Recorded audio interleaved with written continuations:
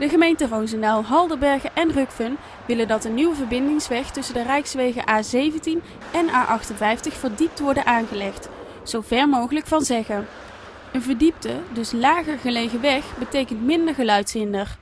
De bestaande aansluiting op de A58 verdwijnt en hiermee moet een einde komen aan het sluipverkeer door de kom van Zeggen. Voor de zomer moet er een concreet plan bij de Rijksoverheid liggen.